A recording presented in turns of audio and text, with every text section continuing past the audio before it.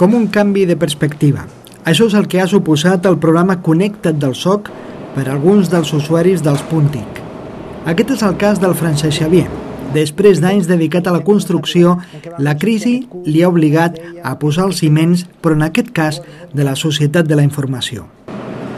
Vam aprendre pues, a, sobretot jo, vaig aprendre a fer anar un ordinador que fins ara no en tenia ni idea, Bueno, en si han, han sigut eh, dos, eh, com dos mòduls dintre d'un mateix programa, no? un inicial que pretén donar eh, o, o ajudar a la gent que no coneix la informàtica o que apenes l'han utilitzat no? i pues, el que se li diu l'alfabetització digital i un, un segon mòdul que, que completaria el, el programa eh, fent una funció més d'orientació, no? el tema de la cerca de feina, pues, donat que ara ja l'atur està com està, pues, girava més entorn a l'orientació de, de, de saber trobar feina i, i ajudant-te també amb, amb les noves tecnologies.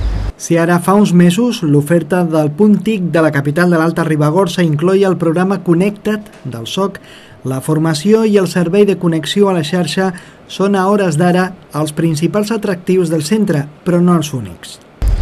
Bueno, el, el, punt TIC de l'Alta Ribagorça sempre ha girat entorn a uns quants eixos bastant marcats, que és el, el fet d'oferir eh, pues, l'accés a les noves tecnologies no? i a internet a través d'una aula i ordinadors equipats i maquinària, tant sigui hardware com software, perquè la gent pues, pugui utilitzar un ordinador, si és que en el cas que sigui pues, no, no el poden disposar a casa. Eh, un, un dels pilars forts ha sigut sempre també la formació, eh, en especial pues, de, de, del tema tecnològic, no? noves tecnologies, tocant també una mica el, el, el tema empresarial, no? la gestió d'empresa i així. En el cas del telecentre de Trem, el programa Connecta't també ha suposat un estímul per a posar-se al dia en les tecnologies actuals.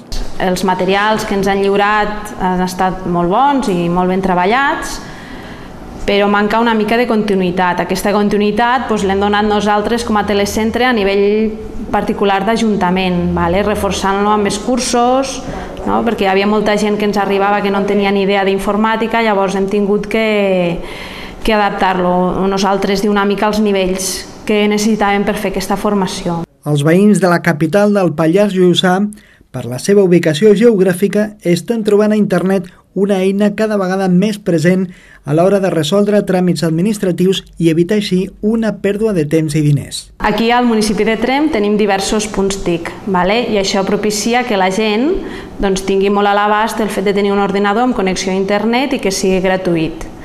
Uh, no obstant això, hi ha molta gent que, que desconeix el seu funcionament i que ja sigui per motius uh, socials personals o perquè veuen els seus fills entrar a internet i no saben el que fan, doncs aquesta gent necessita una mica de recolzament, de suport, de saber què s'està movent a la xarxa. No?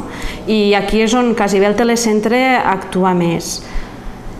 D'altra banda, nosaltres, eh, el municipi de Trem, és un dels municipis més grans de Catalunya i això fa que territorialment la població estigui molt dispersa. Actualment estem impulsant iniciatives com tot el que són tràmits a través d'internet, que el ciutadà no s'hagi de desplaçar a l'Ajuntament, que en alguns casos pot, pot significar 30 quilòmetres d'anada i 30 de tornada. Això és una despesa considerable de temps i de diners. I llavors D'aquí que l'Ajuntament ara, a través d'un catàleg de serveis i, i utilitzant eines que ens ha posat a l'abast el Consorci d'Administració Oberta a Catalunya, impulsem que el ciutadà entri a internet i faci els tràmits per internet. Ah, llavors, què necessitarem? Necessitarem uns ciutadans suficientment formats, eh, un nivell bàsic, però que estiguin formats i familiaritzats amb fer tràmits per internet. I és aquí on quasi bé volem incidir de cara al futur en, en aquesta base de ciutadania. Internet ja forma part de la nostra vida, però som capaços d'explicar què és internet?